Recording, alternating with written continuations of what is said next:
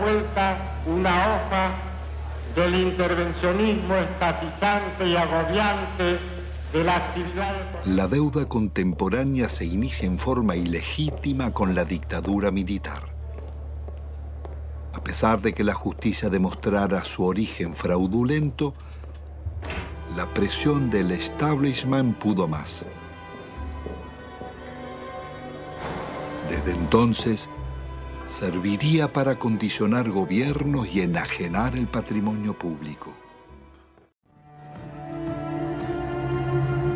La alianza entre los bancos extranjeros y las corporaciones será el nuevo poder en la Argentina. Después de siete años de plan neoliberal, el gobierno de la dictadura deja un país hipotecado con una deuda externa de 45 mil millones de dólares. Una descomunal deuda privada que un alto funcionario de la dictadura le pasaba al Estado, Domingo Cavallo. Doctor Domingo Felipe Cavallo. Convertido en superministro de Economía de los gobiernos de Menem y de la Rúa, sería responsable del permanente crecimiento de la deuda y de los mayores despojos que sufriera el pueblo argentino. La democracia retorna de la mano del radical Raúl Alfonsín con un discurso socialdemócrata. Promete defender los derechos humanos, dar batalla contra la pobreza y demostrar que con la democracia se estudia, se cura y se come.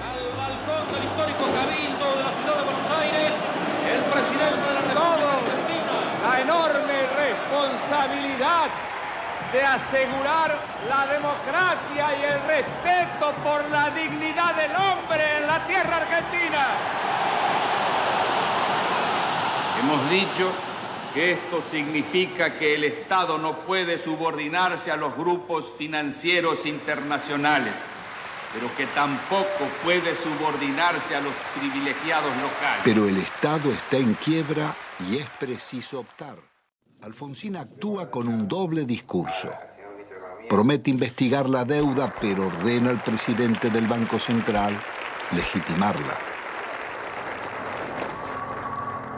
Promueve el juicio a las juntas militares por los crímenes de la dictadura y dos años después, las leyes de obediencia debida perdonarán los delitos cometidos bajo órdenes superiores. De la insurrección de los oficiales carapintadas. La población sale de sus casas y desafía los tanques.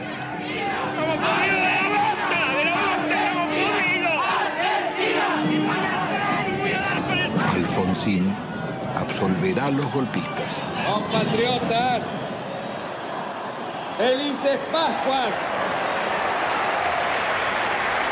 Los hombres amotinados han depuesto su actitud.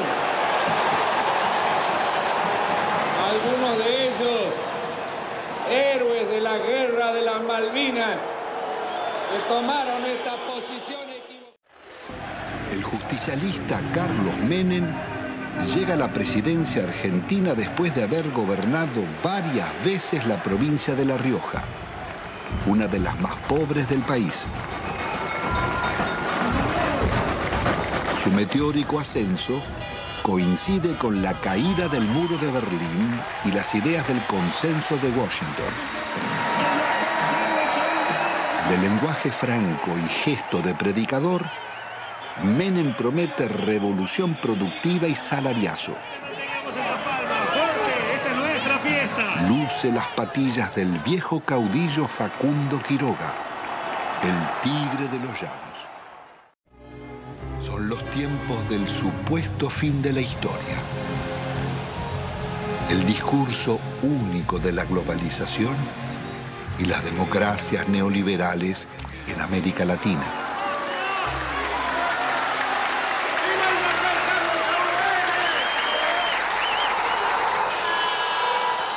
Días después, abandona las patillas y promesas reformistas y traiciona a sus votantes.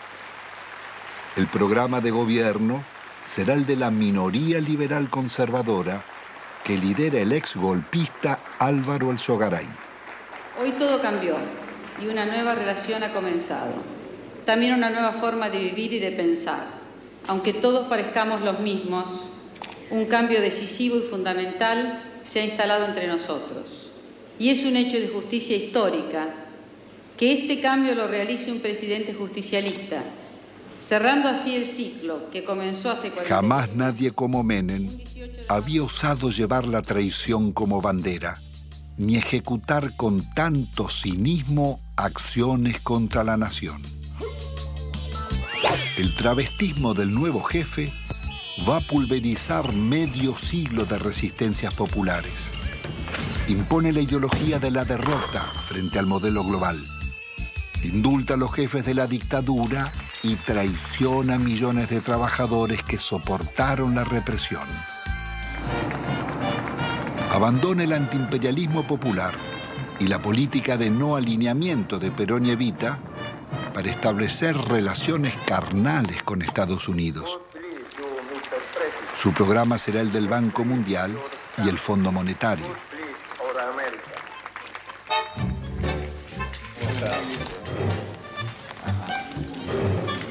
Pero la traición no fue solo la de Menem. Buena parte de la dirigencia político-sindical tiró por la borda una vida de resistencias. Muchos se sentaron en la mesa del arreglo y optaron por indemnizaciones.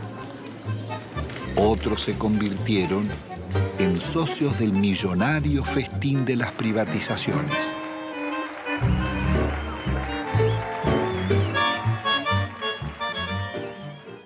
Bueno, es, indudable que, que la traición es muy efectiva. La traición es es, eh, de, una, de una potencia política fenomenal, justamente porque es traición, porque, porque te cala en lo más hondo, porque viene por la espalda, porque no estás preparado, porque se da de quien menos la esperás, si no, no sería traición. Entonces, sociedad con escaso protagonismo partido que defeccione de sus ideas históricas y se pone al servicio del enemigo. Movimiento obrero reducido, achicado por la desindustrialización y copado por los traidores. La justicia disciplinada a esas transformaciones que se iban a realizar. La oposición con escaso margen de maniobra. El resultado concreto. El Congreso de la década mafiosa el que votó las leyes más vergonzosas y antinacionales, tuvo que sesionar rodeado de cordones policiales. Fueron tantos los atropellos contra el pueblo que todas las semanas se oyeron sus reclamos. Llegaban jubilados, maestros, empleados estatales, estudiantes, obreros y desocupados de todos los gremios.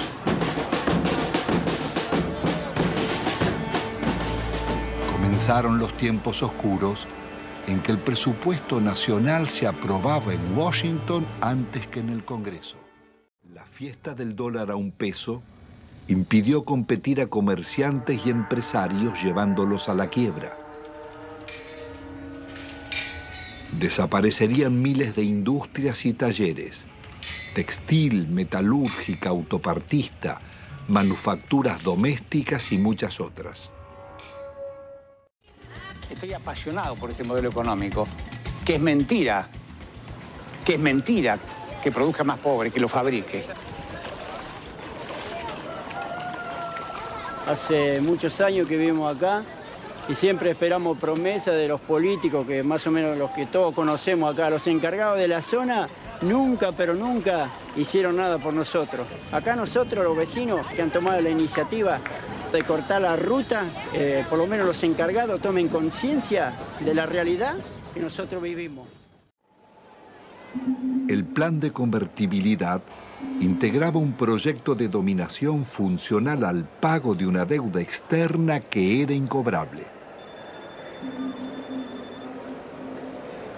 En 1992, el ministro Cavallo negocia con el secretario del Tesoro americano Nicolás Brady canjear la deuda por el patrimonio público que se ofrecía a precio de remate. El gobierno de la Nación Argentina cumplimenta esta noche siete cabalísticas privatizaciones, siete sectores estratégicos del quehacer nacional. Encaramos las privatizaciones de la televisión, de los teléfonos, de instalar el sistema del peaje, de instalar la concesión vial o la concesión ferroviaria, también de privatizar las radios y de incorporar, por supuesto, la privatización de la empresa estatal de la aeronavegación.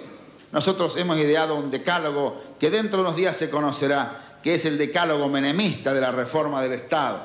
El mandamiento 1 son palabras de Menem, él no lo conoce aún. El mandamiento 1 está extraído de sus muchos discursos, dice así, nada de lo que deba ser estatal permanecerá en manos del Estado.